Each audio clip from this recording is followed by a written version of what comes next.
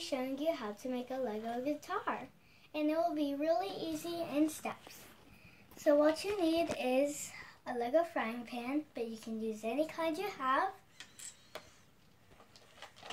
A little swirl dot, but they don't have to be, but they don't have to be gold. And the, and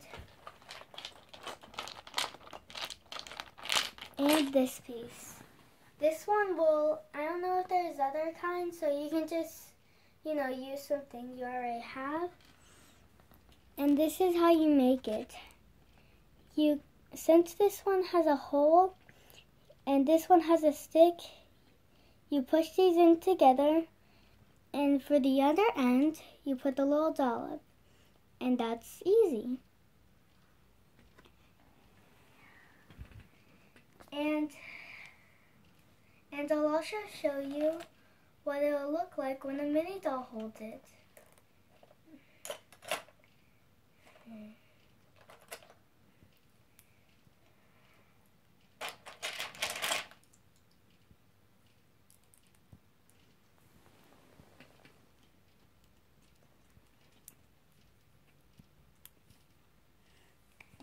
This is what it looks like when a mini doll holds it. Now, how it holds it is the bottom, it has a little Lego piece so they can hold it really easily.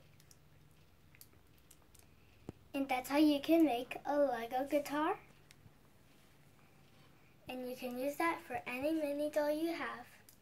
And they can also hold it in a different way, like this. Since this is a stick, and they can hold the sticks, in Lego, you can hold it two different ways.